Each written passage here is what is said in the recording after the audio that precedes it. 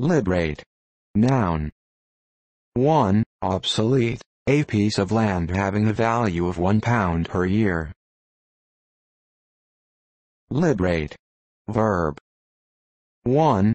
To oscillate, like the beam of a balance.